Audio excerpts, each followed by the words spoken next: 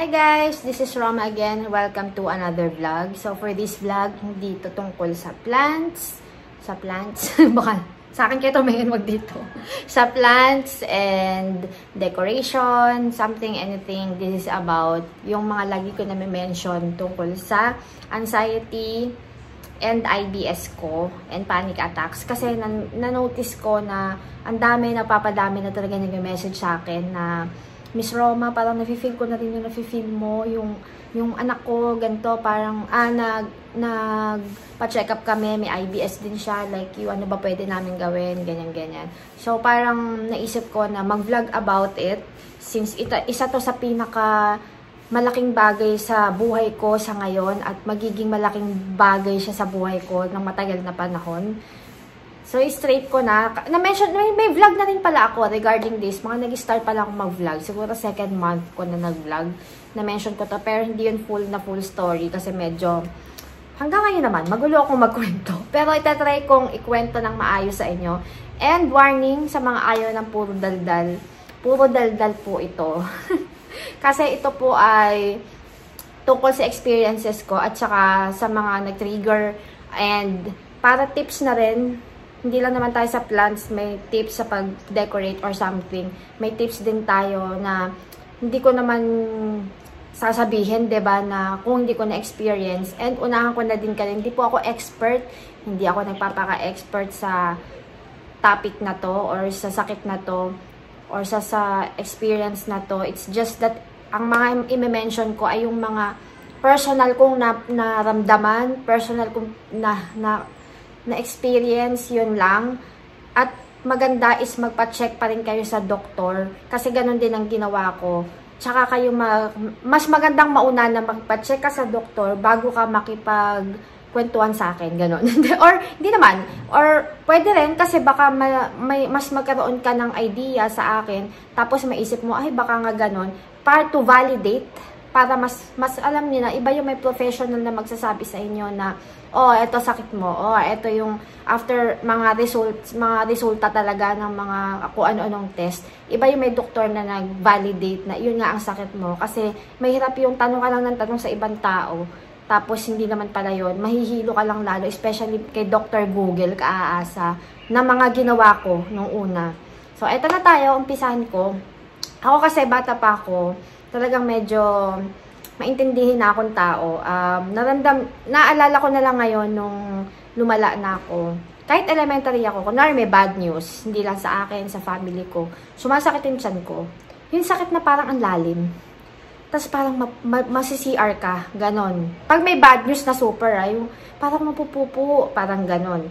So, mga high school, ganun din ako. Pero natatandaan ko, nag-start talaga to mga 14 years ago. I'm 35 years old. So, 14 years ago, parang once a year, bigla na lang, usually, pagka natutulog ako sa hapon, siesta time, tapos biglang kukulo yung chan ko. Ano experience nyo na yun? Yung kukulo yung chan nyo, parang LBM. Super sakit. Alam niyo yung pag kumulo, gumanon yung chan nyo, biglang kailangan magputa ka ng CR. Then, para akong hihimatayin. Latang-lata. Once ko lang na-experience yun per year, every two years. Then, um, nung nag-start ako mag-business, uh, mga bata naglalaro, tsaka asa. So, nag-start ako mag-business, lagi ako busy pero, ano po ako eh, uh, sobrang workaholic ko kasi. So, ito na tayo, mga year 2008. Uh, once ulit, na-experience ko ulit yun, yung biglang kukulo chan. Tapos, ang sakit-sakit ng chan mo, tapos hindi mo siya mailabas. Tapos, biglang boom, biglang lalabas. So, yun. Uh, hindi, wala pa akong idea sa acid reflux, wala pa akong idea sa kung ano-ano. Basta akala ko nilamig lang ako, ganyan. Basta sumakit chan ko. Pero nakaka-get over agad ako after ilang minutes. Tapos, um, yun nga, nag-business ako, which is yung accessories. Wala akong worker, wala akong secretary. Ako nagre-reply sa lahat ng email, inquiries. Ako bumibili ng, ng mga stocks ko ng materials, stones. Ako nagre-reply sa customer. Ako gumagawa. Delivery, tinutulungan ako ng husband ko. Pero minsan may meet up sa clients na hindi maiwasan. So, ganun ang naging buhay ko up until bago mag-ECQ. Ganun ang buhay ko. So, ilang taon na kami ng husband ko? 12 years. For 12 years yun ang buhay ko. For 12 years, napaka-workaholic kong tao. For 12 years, napaka... Ay, wag natin isama yung last year. Kasi last year, naglaylo ako talaga. Um, wala akong inisip kundi yung commitment ko sa kliyente. Ganun ako. Siguro ganun din kayo, mag-iba lang. Parang yung boss nyo, di ba? Ganun. Or kahit sa pag-aaral, ganun naman yan. May kanya-kanya tayong kinai-stressan sa buhay. So, ganun. Lagi ako naghahabol sa oras. Pagod ako physically kasi ako yung gumagawa ng mga accessories ko. Pagod ako mentally kasi iniintindi ko kung paano ko hahabulin yung deadline. Kasi hindi naman po sa, ano, napaka-professional ko po talaga pagkausap ko yung kliyente ko. Ngayon nga nung nag-vlog na ako, natatawa yung iba kong client na, Mama, joker ka pala kasi pagkausap kita dati, ang seryo-seryoso mo. Kasi ganun po ako. Pag sa business, sobrang, hindi naman sana, I try to be super professional as possible kasi feeling ko yun ang deserve ng clients ko. Kaya naman, hindi naman sa ano, tumagal ako ng hanggang ngayon sa business na to. Nag-export ako, ng uh, hand, handmade po ang accessories na ginagawa ko. Ako nag-design ako gumagawa. So, yung refer, refer, refer, referral ng bawat client, yun ang pinaka magandang balik sa'yo eh. Ibig sabihin, um, na-satisfy mo sila, ba diba? Sa service mo, overall, ganyan. And then, um, nagdad, nagbibigay na rin ako, na, nag-sponsor ako sa mga weddings ng um, celebrities, like ng wedding ni Miss Hart, Sir Cheese Escudero, ako nag ano ng accessories nila sponsor kay Miss Neri Miranda. Yan, mga ganyan, mga tapos sa mga tapings, ganyan. So, yun, mga ganun-ganun. So, ganun po ang mundo ko dati before ako mag-vlog. Lagi akong busy, lagi ako nakaupo, pagising ko, hindi ako nagka... Ever since hindi ako nagbe-breakfast, yan, mga iwasan yun. lagi akong puyat, natutulog ako. Normal sa akin yung 3 a.m. Minsan nagan 6 a.m. sinusundo na yung kapitbahay namin ng school bus. Gising pa ako. Wait lang, adjust natin. Gising pa ako. Tapos, uh, basta OA ako magpuyat. Pero not for fun. Talagang yun na ang lifestyle ko kasi ang buhay ko ay yung accessories ko, ang business ko. Although, don't get me wrong, yung husband ko napaka-support, support, supportive sa akin. Lagi niya ako pinapagalitan na, oh, ba't gising ka pa, ganyan, ganyan. So, ito po yung background lang ng lifestyle ko para masabi ko na yun nga, hindi, in short, hindi healthy yung lifestyle ko. Tapos, yung pag, pagkain ko, lagi akong magkakape. Siguro mga nag 4 to 5 cups a day of coffee ako. Hindi nagbe-breakfast, ang hilig sa fast food. Pero lagi ako nagluluto ah, sa bahay. Parang ganon. So, number one nga yung stress. So, ayan. Then, nung nag-start, napapadalas na. Pero nung 2013 or 2012, yun yung talagang isa sa pinakamalala na biglang sumakit yung tiyan ko. Yun din yung first time na, na naabutan ako ng husband ko sa CR na naka, nakahandusay ako sa CR kasi hinimatay ako sa sakit ng tiyan ko. So, after nun, wala ulit. After ilang ano. Pero nag, nagbibusiness na ako nun. Ah. Tapos, um, pinakamalala nung 2017,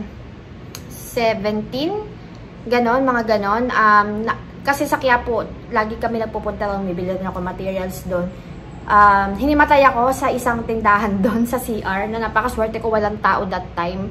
Hinimatay ako, tapos diniretso ako sa UST hospital, ini-CG ako, wala naman nakitang masama. And hindi rin nila sinabi na baka ano ko, uh, may acid reflux. Kasi kung nalaman ko before that, before that time, sana nag, ano na ako, siguro hindi ako umabot sa ganitong point kasi hindi na ako lumala. Tapos ganun pa rin yung lifestyle ko. Hanggang sa dumalas ng dumalas, Noong 2018, November, last week ng November, tandang-tanda ko, yun na in the whole week, nagpagising, nag-LBM ako, tapos nagsusuka ako, tapos nalalata ako. Alam niyo, lata na from dito.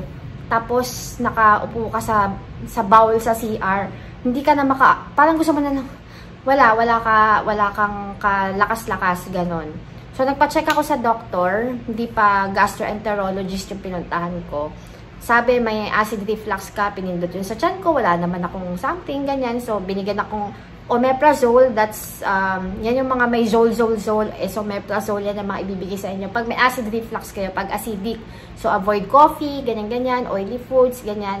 So, ginawa ko yon Ginawa ko yon Tapos medyo hindi ako nagpupuyat na masyado that time. Then, nawala siya. Umokay ako. So, after nun, syempre, Christmas season, di ang dami kong order. Sige, sige, sige na naman ako. Padating ng January last week, boom, ayun na. Then, January 2019, ayun na. Uh, hindi na ako nawala ng sakit. Lagi na akong lupaypay, lagi ako nalalata. Every morning, nag-LBM ako ng siguro mga 5 times. Hanggang la, after lunch yan. Tapos kahit hanggang summer, naka, naka-sweater ako, naka, naka pajama ako kasi lamig na lamig ako. Pero gumagawa pa rin ako ng accessories kasi hindi naman sa ano, ganun ako ka-professional kausap na pag sinabi ko sa customer na ganito dadating, dadating ang order mo, ganun. Parang kumbaga may sakit na ako, sobra pa akong mag-work pa din. Kasi ang iniisip ko pa din, importante yung kliyente ko. Parang ganun. Wala pa ako, wala pa ako sa ganitong state of mind na nandito ako ngayon. Parang ganun. So, duloy pa rin ako sa omeprazole, ganyan. Tapos, hindi ko pa iniiwasan minsan yung mga ibang food. Tapos, hindi ko alam anong kakainin ko. Kasi, bawat kakain ako, bawat ilalagay ko sa bibig ko, sa chan ko, after ilang minutes, i-LBM ko. At buti na lang, buti sana kung ordinary yung LBM siya. Hindi. Super sakit. Super sakit ng chan mo talaga. Pati yung lower back mo, para kang inaano na gano'n, na parang gusto mo nang mamatay, sa totoo lang. Tapos, syempre, mapaplanin ka, mag-google ka lower back pain, chu-chu-chu-chu. Hanggang sa aabot, meron kang cancer, ganyan. So, yun yung mga mali. Yun yung mga mali ko na sasabihin ko sa inyong tip. Mali lahat yun. Huwag kayo mag-google. Ang maganda is mag-direkta kayo sa doktor. Tapos, nagpunta, nagpunta ulit ako sa doktor. Nagpa-swero na ako. Nagpa-dextrose na ako kasi natanda-tanda talaga ako. Tapos, LBM ko ng LBM sa, sa ospital. Feeling ko, ba't ganito? Lumalala ako. Tapos, na-trauma pa ako dahil yung natapat na doktor sa akin, that time na medyo na-trauma ako sa kanya, ang suplado. Hindi pong, hindi mo ma-feel yung sympathy niya, yung parang, alam mo, hindi mo ma-feel yung pag ano niya sa'yo na, kasi ang sama ng pakiramdam mo, hindi mo rin ma-explain kung ano eh. So, parang ganon. So, buti na lang, that, that time, na bigyan niya ako ng, binigyan niya ako ng ganito. Ito, yung Gaviscon na double action, ganyan na sodium bicarbonate, calcium carbonate, ganyan-ganyan siya. Liquid. Pero suka ako dito. Kasi hindi ako dito hiyang. Hiyang ako dito sa tablet. Sa mga nag-message sa akin, alam niyo to, sinasabi ko to lagi, na mag-take kayo neto. Kasi apag acid, so in short, may acid reflux po ako na malala. Kasi nagsusuka ako, tas hindi ka makahinga. Hindi ka pwede magutom, hindi ka pwede sobrang busog, kasi hindi ka makakahinga. So, nagtitake ako ng Gaviscon. Yun nga, after kumain, minsan nagtitake pa ako hanggang bago matulog, nakakatulog ako, may, meron ako niyan sa lalamunan. Tapos, may ilang time, summer time, hindi ko makalimutan. Ang kinakain ko lang ilang buwan is steamed na hipon with konting-konting rice. Steamed na uh, salmon, fish, lahat basta fish, ganon. Steamed lang din. May konting-konting-konting salt, tsaka pepper. Puro yung nakinain ko ilang buwan, ilang linggo. Noong una, masaya pa eh. Pero nung mahuli, as in, parang feeling ko kumakain na lang ako para mabuhay. So, yun naging buhay ko. 48 kilos ako before. Hanggang sa bumaba ako hanggang 40 kilos. I lost 8 kilos sa nangyari na yon Hanggang sa araw-araw, ganun ang ganun. Araw-araw, ganun. Hindi ako iniiwan ng husband ko. Pag alis yung husband ko, nandito yung mami ko. Pupunta halos everyday, nandito nagpupunta. Halos hindi ko maalagaan yung anak namin kasi nga, syempre, kailangan ko intindihin yung sarili ko. Tapos lagi akong umiiyak. Hindi ako makapagbisita. Kasi yun na, ito na yung time na nagkakaroon na ako ng ano, ng anxiety tsaka panic attack. Hindi ako makalabas ng bahay. Dahil tuwing lalabas ako ng bahay, nandun pa lang sa kanto, alam mo, nag-aalala ka, paano pag sumakit yung tiyan ko, paano pag gumanito, pag hindi ako makahinga ng lata ako sa labas, saan kaya yung CR, ganyan, ganyan, ganyan. So, ilang kanto pa lang away, bumabalik na kami kasi sumasakit na yung tiyan ko. So, yung, totoo yun eh, yung mind natin connected sa tiyan, di napapansin, kapag nai-stress ka, yung tiyan mo parang sumasakit, parang mapupup, parang ganon. So, yun na nangyari sa akin. Hindi pa ako nag emojum that time. Dahil hindi ko matanggap para ako nag lbm So, hindi ako nag emojum So, nag-join ako sa group ng may feeling ko baka aware kasi ako sa IBS noon, yung term na ganon. So, irritable bowel syndrome. So, chronic condition siya eh. Na minsan lifetime mo siyang dadalhin, yung IBS na yon So, ang dami nagtatanong sa akin, ano ba yung IBS? Um, hindi po siya ma masasabi, baka mamaya sumakit lang ang tiyan yung feeling nyo may IBS kayo. Kailangan nyo magpunta sa doktor. As for me, nagpa-gastroenterologist na talaga ako para specialista talaga sa tiyan. Yun na yung pina-check niya ako. Marami siyang pina-check eh. Potassium, uh, yun, tapos na ako mag-ECG, tapos sa dugo. Basta kung ano-ano, hindi ko na, na ano, basta pinagawa ko na lahat. Pero pati yung uh, ultrasound, lahat yan eh. Last niyan yung, nakalimutan ko yung term, sorry, yung may papasok na camera sa tiyan nyo para makita kung may bukol ba, may ganito, may tumor, whatever, gano'n. Hindi naman ako umabot sa ganong point. So, sinabi niya nga, o siya, dahil clear ka sa lahat, may IBS ka. So, yun na nangyari sa akin. Pero, napakalala na ng anxiety level ko na, alam niyo ba, nagpa-check ako sa doktor, ang dami kong kasama, mami ko, husband ko, anak namin. Para lang makampante ako. Tapos, tarantan-taranta ako, para talaga akong planning pag nasa labas. So, hindi lang dahil sa may sakit ako, mararanasan ko yung anxiety or panic attack. Kahit kayo, kanya-kanya nga tayo ng trigger eh, di ba? Yung nagtitrigger sa atin eh. It's just that ako, yung sakit ko na yon dahil hindi ko naiintindihan, parang sabi ko, kailangan maintindihan ko na yung sakit ko. Kailangan ko na magpunta sa talagang espesyalista kasi para mabawasan yung anxiety ko. Kasi iniisip ko, may cancer ako. May cancer ako, may cancer ako, mamamatay na ako, ganyan, ganyan. Ganun lang nasa isip ko na iyak na ako ng iyak. Ang payat-payat ko. Payat na nga ako, pumayat pa ako. Tapos, hindi ko na ma, hindi na ako makasistema ng maayos eh. Hindi na ako yun. Parang ganon. So, nagbigay sa akin yung doctor ko ng Spasmomen yung pangalan niya.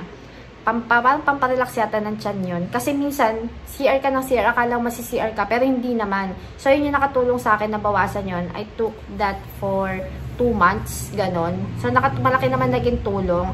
Tapos, um, kung kayo may acid reflux kayo, masasabi ko sa inyo, mag-take kayo lagi. Kung tuwing iinom kayo, minom kayo ng mainit na tubig or warm water. Tapos, um, probiotics. Ako, lagi ako nag-yakult. Yun ang, yun ang ginawa kong juice. Iwas sa coffee. Hindi ako nag-coffee ang tagal-tagal. Ngayon, ngayon lang ako nagko-coffee, half cup pa. Tapos, um, wag mo na mag, uh, ano, ascorbic acid. Pwede sodium ascorbate Or bahala kayo kung ano sabihin ng doctor sa inyo. Ako kasi napakahilig ko mag-research na minsan napapraning tuloy ako. Nagjo-join pa ako sa group na may mga acid reflux, may ganito, ganyan-ganyan. So, regarding sa sakit, ang may papayo ko, magpunta kayo sa specialista or sa doktor nyo talaga para mas maintindihan nyo yung nararamdaman nyo. Kasi doon nyo may iwasan yung anxiety nyo. Doon na tayo papasok sa anxiety. Doon, doon mababawasan yon Kasi hindi, kasi lagi lang kayo mag, lalo na kayo mag-aalala eh, 'di ba? Kasi iniisip nyo, ba't ba ako may ganito, may sakit ako, ba diba?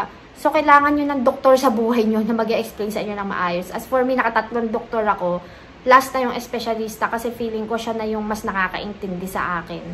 So, ayun nga, nangyari. For the whole year, hang, nine, uh, ng 2019, ganun ang buhay ko. Pero ng December, November, nakakalabas na ako. Pero kailangan, naka-imodium ako, one or two tablets para pagdating sa labas, kampante ako, mababawasan yung iniintindi ko na ah, hindi ako mapupupo kasi masi-CR kasi naka-imodium ako eh.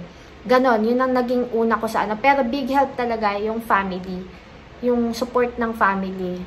Maraming, kahit yung family ko, nung una sinasabi, wag ka kasing ano, wag mong isipin. Wag mo lang isipin. Pero napakahirap po. Pero nung tumagal, naintindihan na nila na hindi lang po siya sa isip. So, sa mga tao na kung hindi man kayo mismo may anxiety, may panic attack, so may nararamdaman, support nyo po yung mga, yung family nyo. Like ako, napaka-supportive talaga ng family ko na may time pa talaga na yung husband ko, sinulatan ko na ng letter na para na ako nagbibigay ng last will and testament. Natatawa ako. Tapos, hindi kami makapag, ano, ng bisita, makapag-accept ng bisita kasi nga, nag-aano kami, yung nag-aalala ko lagi.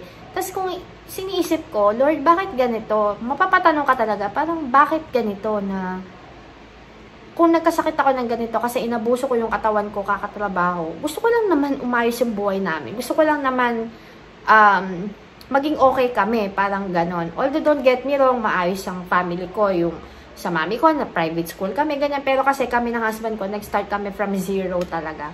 So talagang nagsikap kami dalawa para um, para 'di ba umayos ang mag, para maging ano ba, maging comfortable, mas maging comfortable ang buhay. So, parang feeling ko ang unfair na ang daming tao dyan na pabanjing-banjing. Pero bakit ako na ang ginawa ko nila parang all my life for one decade, wala akong ginawa kundi magtrabaho. Pero bakit ako binigyan ng ganitong sakit? Parang ganon.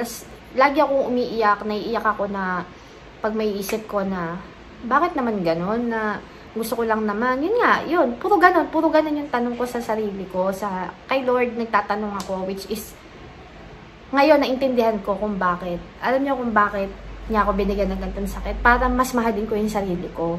Kasi masyado ko napabayaan yung sarili ko. Masyado kong mas prioritize yung kliyente, yung pagiging professional sa business, Ganon. Um, ngayon, naisip ko na kahit, kahit kailangan na nila ng hikaw, kailangan na nila ng accessory, so what? Ito na yung pera. Inyo na yan, inyo na yung bayad nyo.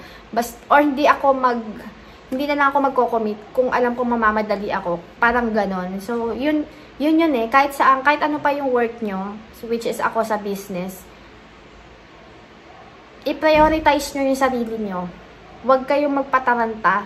Parang ganon. Ang maganda lang sa akin is nandito na ako sa point na syempre may ipon na kami, kaya ko nang hindi mag-accept ng trabaho para mas unahin ko yung sarili ko. Kung pwede lang sana no, na ganun lahat yung sitwasyon natin, okay. Pero some some people, iba sa atin, wala tayong choice, 'di ba? So sa akin, parang thankful ako kay Lord na parang ngayon na message, nag, nakuha ko yung message niya, nakuha ko yung gusto niyang paratingin sa akin na mag-focus ka sa family mo, mag-focus ka sa sarili mo, enough na yung pagtatrabaho mo ng todo na ganon. Andun ka na sa point na dapat intindihin mo yung sarili mo, huwag mo nang abas, abusuin. So, nag-start ako, hindi na ako nagpupuyat. Na, noong una, 8.30, tulog na ako, which is grabe ha. Dati, 3 a.m., 5 a.m. Ngayon, hanggang 12 para na ako si Cinderella. So, yun po. Para sa akin, isa yun sa parang ma-overcome nyo rin yung anxiety is, yun nga, punta sa doktor, intindihin nyo kung ano yung sakit nyo nararamdaman nyo para alam nyo kung ano yung naintindihan nyo, ano nangyari sa katawan nyo. So, sa totoo lang, kung hindi ako takot lumabas, nagpa-psychiatrist na ako kasi feeling ko pabaliw na ako that time. Talaga as in, iba na, iba na yung nararamdaman ko sa sarili ko. Ayoko na mag-umaga. Kasi feeling ko pa nag-umaga, magkakagano na naman ako. Mararamdaman ko na naman lahat. Na, na, kaya napakaswerte ko na may family nga ako na supportive. May asawa ako na sobrang supportive. May nanay ako na everyday nagpupunta dito. Na kahit meron siyang sariling buhay din niya, ba diba? Uh, nagpupunta siya dito. Yung asawa ko, kahit na dapat ako nag-aalaga sa kanya rin, ba diba? Pero wala talaga, talagang talagang parang yung buong 2019, buong buhay nila, inano nila sa akin para maging okay ako. So, yun talaga, napaka-importante. Doon mo maiisip na, ah, mas importante ang family. Mas importante kaysa sa pera, kaysa sa trabaho. Kasi nandyan lang yan. So, yun po yung mga kaimutan ko sa buhay. So, kung kayo may mga questions pa kayo na nararamdaman or what, message nyo lang ako. Kasi sa totoo lang minsan, kahit nagpupunta tayo sa doctor, ang doctors naman kasi minsan, syempre, hindi naman nila na, nag, hindi naman nila na-experience. Alam nila, medically, di ba, yung mga, yung mga sakit natin, yung gamot na kailangan. Pero minsan, masarap din talaga may kausap na, yung alam natin nakaka-experience ng kung anong pinagdadaanan natin. Iba yung may nakakausap ka din na, kaya sinasabi ko nga sa nakausap ko kahapon, sorry, nakalimutan ko yung name mo na, kung ako nga napagdaanan ko, nakayanan ko, ikaw pa kaya.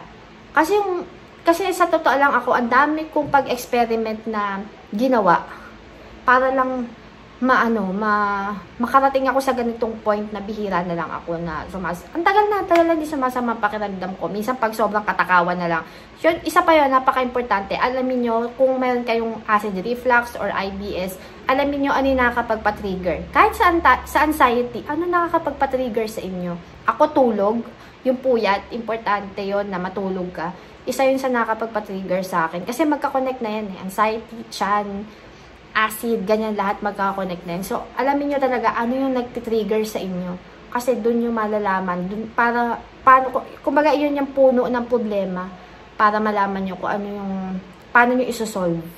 Ganon. So, yun guys. Ang haba na. Ilang minutes na? 23 minutes. Sorry, daldal ako ng daldal ulit. Pero napakalaking bagay kasi sa akin neto. So, ito po ay para sa mga tao na may anxiety, nagpa-panic attack.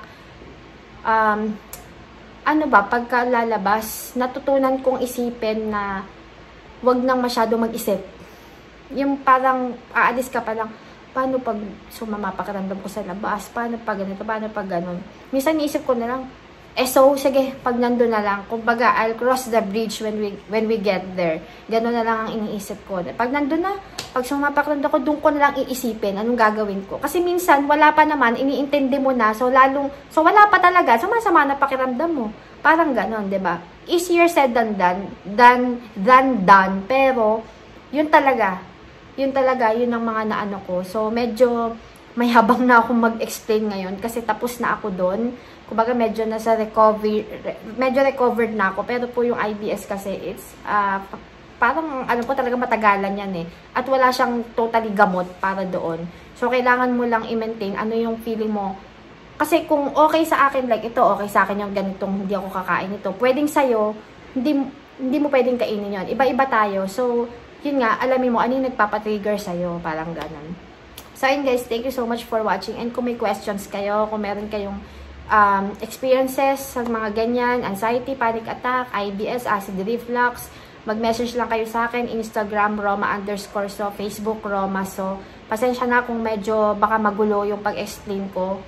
Minsan kasi pag, sa totoo lang kahapon yung ka-message ko, nag, sumakit yung dyan ko ng slight, nag-CR ako kasi feeling ko yung mga sinasabi niya, yun yung talagang naramdaman ko before. Parang bumabalik sa akin. Tapos kanina yan talaga, parang tignan talaga akong, na, naiyak talaga ako kasi pag pag naranasan nyo kasi, yung naranasan ko or naranasan namin na may mga anxiety, panic attack, IBS, ganyan, napakahirap po talaga, napakahirap. So talagang yung anxiety, totoo po yun. Totoo siya talaga. Hindi siya biro, hindi siya napakadaling i-deal pero magiging madali siya kung may supportive na family. So, po guys, yun nga. Just comment down below. Magko-comment din ako kung ano yung kaya ko i-comment sa pagkakaalam ko. Hindi naman ako magmamarunong kung, yun nga, kung hindi ko alam. hindi naman ako magmamarunong kung, kumbaga, hindi naman, kung ano lang yung na-experience ko, yun lang i-share ko. And guys, thanks so much for watching and sana um, na-share ko yung mga gusto nyo marinig. Sana kung may kulang, yun nga, com uh, comment message lang kayo sa akin. Thank you and God bless.